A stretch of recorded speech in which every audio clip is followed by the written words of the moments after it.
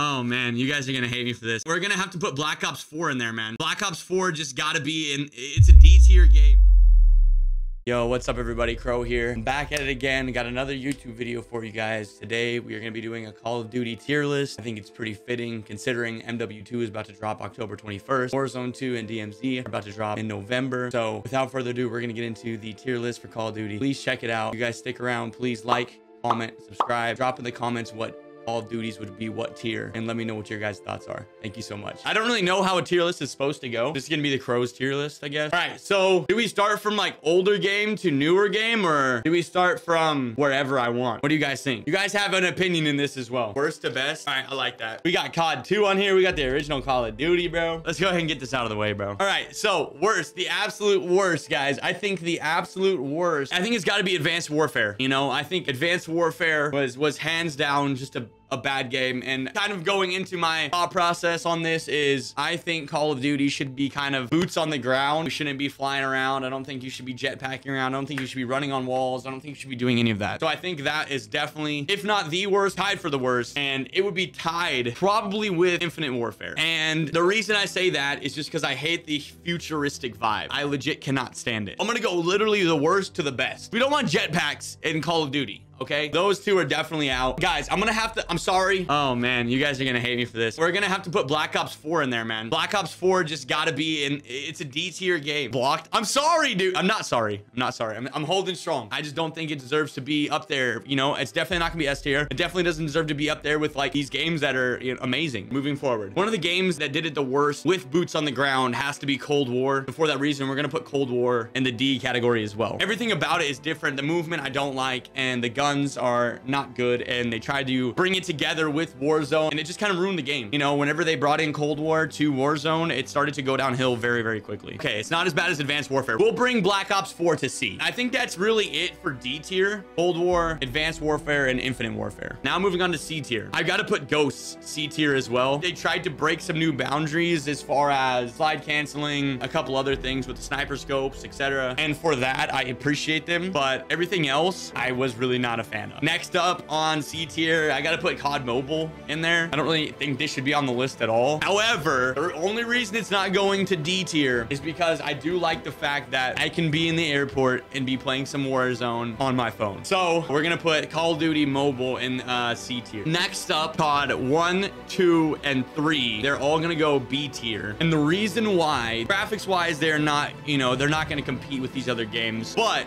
the nostalgia behind these games, they're essentially the footprint for what we have now. So without Call of Duty 1, without Call of Duty 2, without Call of Duty 3, we would not be where we are today you know, we would not be having the games that we have today. Along with Call of Duty 1, 2, and 3, I think I'm also going to put Call of Duty World War 2 as a B tier Call of Duty. I did enjoy World War 2. I had some good times. I met some cool people during the game. I thought it was actually pretty fun to play. I think it was a solid game. Next, I'm also going to put Vanguard as a B tier. And the reason why Vanguard made it so high is because I love the old weapons that they're bringing into the game. And that's the only reason why. Vanguard otherwise would have slipped to a C tier. I never play the multi for Vanguard, but having those old guns guns in Warzone. That's the reason why it's a B tier game. The game itself is decent. The multiplayer is definitely better than these C tier and D tier games. Moving on, this is gonna be tough. The first A tier that we're gonna put up there is gonna be Warzone. And the reason why Warzone to me didn't make an S tier is for the simple fact that they let the hacking go crazy, the cheating, the aimbot, and they let everything go wild. Ghost at C, Ghost is not good. It's just not, it's not fun. So for that reason, Warzone to me slips through the cracks from an S tier game. Wait, three is A? No, it's not. I don't think so. I think Call of Duty 1, 2, and 3 are all B tier. Because like how I'm looking at this, Deb, can I go play this tomorrow and still have fun with it? But Warzone slipped through the cracks from an S tier to an A tier game simply for the fact that they don't care about the community. They let hacking go rampant whenever obviously there's different ways to combat cheating. We look at a lot of other games that are out there doing it, whether it be Fortnite or Apex or whatever. They're doing a good job of combating the cheating. Next game that's going to be an A tier game, it's going to be Call of Duty 4. Call of Duty 4 is very, very close close to me to making an S tier game, but it just didn't quite make the cut for me. It was a great game. I enjoyed it. They could have done better with it, but at the same time, it did set that,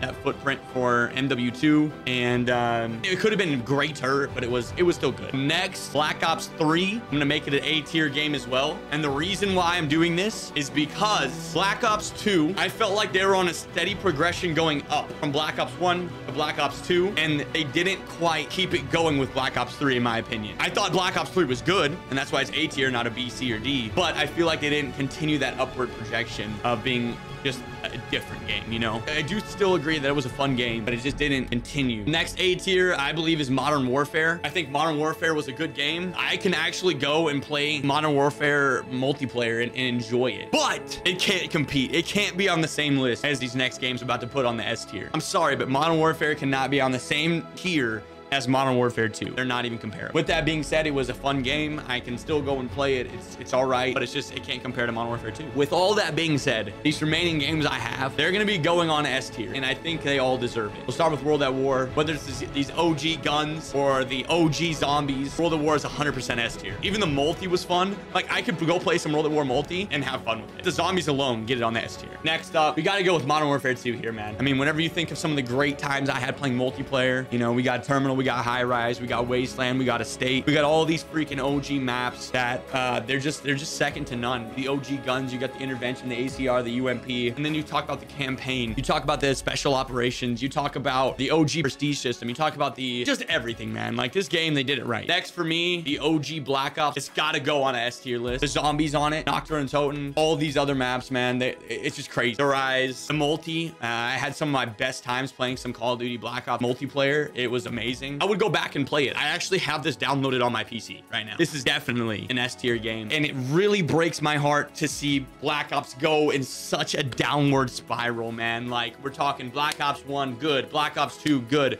Black Ops 3, pretty good. To Black Ops 4, to Advanced Warfare to Infinite Warfare. It just it just breaks your heart, man. Or Advanced Warfare, excuse me. Next up, Black Ops 2. As I said earlier, guys, the reason why Black Ops 3 did not get put on the S tier is for the simple reason Black Ops 1 and Black Ops 2 were so good to me and they didn't continue to project how good it could have been. In Cold War, obviously, yeah, Cold War was chopped. Black Ops 2 definitely goes on there. The zombies on Black Ops 1 and Black Ops 2 alone get it on the S tier. The multi on, on Black Ops 2 was pretty good. I enjoyed it as well. Multi on Black Ops 1, I definitely enjoyed it. And probably one of my favorite multis of all time, only second to Modern Warfare 2, would be Modern Warfare Warfare 3. Modern Warfare 3 was a great time all the way around. The multi, the spec ops, the campaign was good. Absolutely grinded out the guns. It was amazing. The maps were phenomenal. The sniping was awesome with the MSR, which I believe they're bringing back to MW2. So guys, that's how I've got my Call of Duty tier list. We have World at War, Modern Warfare 2, Call of Duty Black Ops, Black Ops 2, and Modern Warfare 3 as S tier games. Warzone, Call of Duty 4, Black Ops 3, Modern Warfare as A tier. B tier, we've got COD 1, 2, and 3, World War 2, Call of Duty Vanguard. C tier, um, Black Ops 4, Call of Duty Ghosts, Call of Duty Mobile. And then D tier games, we got Cold War, Infinite Warfare, and Advanced Warfare. I don't know if you guys agree, but if you guys can, put your tier list in the comments. Make sure you hit that like, turn the noti bell on, hit that subscribe button. Thank you guys so much, and hope you guys enjoy the video.